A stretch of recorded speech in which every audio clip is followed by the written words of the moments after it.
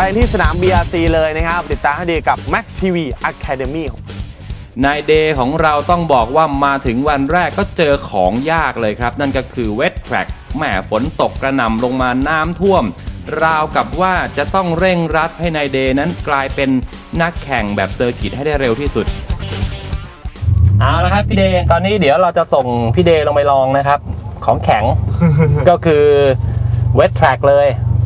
นะครับสนามแบบเปียกเลยนะครับ ก็เมื่อกี้หลังจากที่ลองนั่งผมขับไปแล้วเป็นไงบ้างพี่เดย์เร็วเลยครับก็ตื่นเต้นนี่แต่ว่าก็พยายามจำที่เมื่อกี้พี่ขับขับๆว่าอืมประมาณไหน อืมนะครับเดี๋ยวรอบนี้เนี่ยพี่เดย์จะเป็นคนขับเองเพราะฉะนั้นที่ผมนั่งไปเนี่ยผมจะนั่งไปในทรงอ่าหนึ่งคือเป็น instructor ด้วยแล้วก็เป็น observer ด้วย คอยสังเกตว่าพี่เดย์ทำตรงไหนพลาดนะครับ แล้วผมจะคอยแก้ไขให้นะครับเผื่อว่าเวลาเราเจออ่า เหตุการณ์จริงๆนะครับเวลาจริงๆมันเราไปใช้บนท้องถนนได้ด้วยนะอ่าของพวกนี้เวลาเราไปเจอฝนตกถนนลื่น อันดับแรกนะครับอ่าเมื่อกี้ที่ผมย้ำไว้แต่ว่า เดี๋ยวถ้าผู้ชมจะไม่เข้าใจคือ ใช้คำนี้ก็ได้ง่าย ๆ คือ เมื่อเจอฝนตก อย่าให้ล้อหยุดหมุน อย่าให้ล้อหยุดหมุนก็คือล้อห้ามล็อก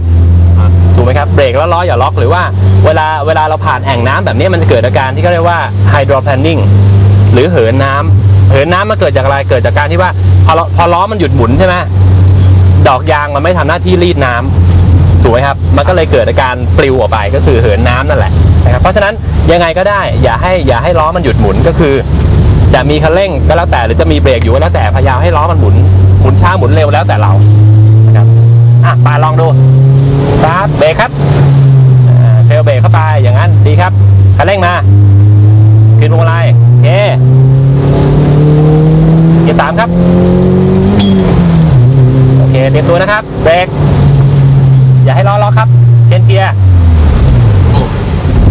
อ่า เมื่อกี้มันจะมีอาการเรียกเขาเรียกว่า อ่า นี่คือผมปล่อยคัชะงักไปนิดนึง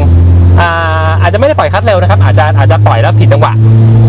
นะครับ นิดนึงมันก็เลยเกิดอาการล้อล็อกเพียงแต่ว่าเราลดความเร็วลงมาได้แล้วก็ไม่มีปัญหาอะไร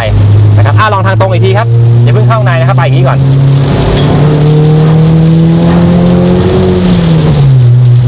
มาร์กจุดเบรกให้ดีนะครับปึ๊บเบรกครับ ลงสอง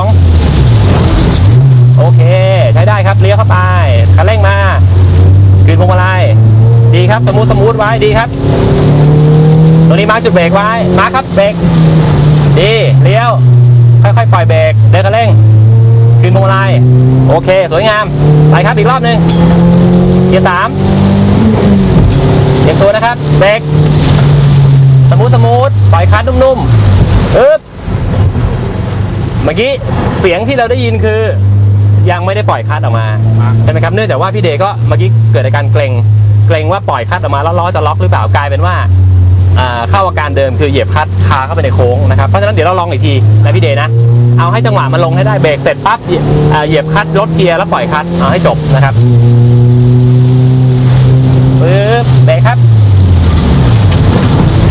โอเคเนี่ยจริงๆมันทำให้เหมือนฝั่งนี้เท่านั้นเองเพียงแต่ว่าฝั่งนี้เนี่ยพื้นมันไม่ลื่นพี่เดย์ก็เลยไม่เก่งใช่ไหมครับคิดอ่าประมาณเมื่อกี้เลยเดี๋ยวเข้าไป trail เข้าไปคันเร่งมาคืนพวงมาลัยโอเคดีครับ soft hand สวยงามเกียร์สามเต็มตัวเบรกครับเบรกเนิ่นๆไว้ smooth smooth ถอนคันดีเลี้ยวเข้าไปครับ โอเคคันเร่งมาครับ ดีครับ แต่เบรกเดินเข้าไปเข้าข้างในนะครับ รอบนี้เข้าข้างในระวังนะครับ เราจะไปเจอกับโค้งแคบลงแคบลงเรื่อยๆนะครับ เบรกเข้าข้างในปึ๊บโอเคคันเร่งมาครับ ตรงนี้ระวังนะครับ ขาออกลื่น โอเคดี โอ้ถ้าทัศนวิทัศนวิสัยเราจะเริ่มแย่นะครับมาร์กจุดเบรกให้ดี โอเค ดีครับ smooth trail เข้าไป ยิ่งโค้งแคบเท่าไหร่เนี่ยนะครับเราต้องยิ่ง trail brake เข้าไปถึงกลางโค้งให้ได้เยอะที่สุดนะครับเพราะว่าถ้าเราปล่อยเบรกเร็วปั๊บเนี่ยไอ้โมเมนตัมของรถเนี่ยมันจะถ่ายมาอยู่ที่ข้างหลังใช่ไหมครับเพราะว่าพี่เดย์นึกภาพตามนะเวลาเราเบรกน้ำหนักรถไปอยู่ข้างหน้าใช่ไหมพอปล่อยเบรกปั๊บน้ำหนักเด้งกลับไปข้างหลังมันจะเสี่ยงกับการ under ตรงไปเลยครับ RS ไปเลยนั่นแหละครับโอเค สุดเกียร์สองครับเบรกโอเคคุมไว้คุมไว้ดีครับ อย่างนี้ดีเดินคันเร่ง คือโนอะไรช่วยโอเค อย่างนั้นครับดีพวงมาลัยเราขยับตามนะครับ นิดหน่อยเบรกดีครับ